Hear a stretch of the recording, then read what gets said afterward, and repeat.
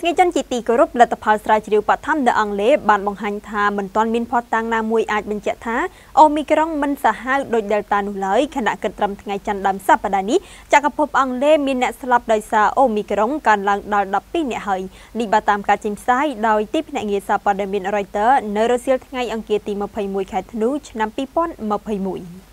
តន្ន័យបឋមមួយនៅក្នុងចក្រភពអង់គ្លេសបានបង្ហាញថាมันមានផុសតាំងណាមួយអាចបញ្ជាក់បានថាមេរោគ COVID-19 បំផ្លែងថ្មីអូមីក្រុងมันមានភាពកាចសាហាវជាងមេរោគបំផ្លែងថ្មី Delta នោះទេខណៈគិតត្រឹមថ្ងៃច័ន្ទដើមសប្តាហ៍នេះចក្រភពអង់គ្លេសមានអ្នកស្លាប់ដោយសារអូមីក្រុងកើនឡើងដល់12អ្នកហើយនេះបើតាមការចេញផ្សាយដោយទីភ្នាក់ងារព័ត៌មាន Reuters នៅរសៀលថ្ងៃអង្គារទី21ខែធ្នូឆ្នាំ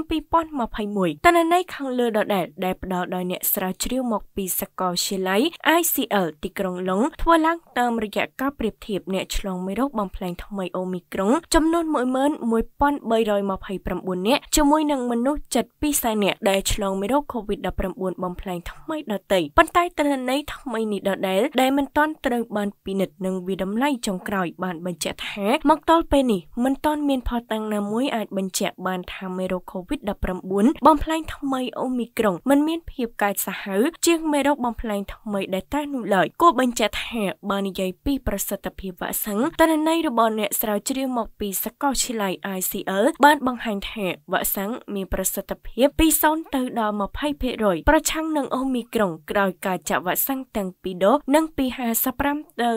80%នៅក្រោយការចាក់ដូសជំរុញឬដូសទី3កន្លងមកនេះក្រុមអ្នកវិទ្យាសាស្ត្រអន្តរជាតិទាំងនៅអង់គ្លេសអាហ្វ្រិកខាងត្បូងនិងសហរដ្ឋអាមេរិកជាដើមធ្លាប់បានអះអាងស្រដៀងគ្នាថាអូមីក្រុងពិតជាមានសមត្ថភាពចម្លងយ៉ាងលឿនរហ័សជាង Delta ហើយវាមិនអាចបង្កឲ្យឈឺធ្ងន់ឬមានភាពកាចសាហាវដូច Delta នោះឡើយប៉ុន្តែបើយោងទៅតាមលទ្ធផលសិក្សាថ្មីខាងលើនេះវិញវាអាចនឹងបង្កក្តីព្រួយបារម្ភបន្ថែមទៀតជាជាមិនខាន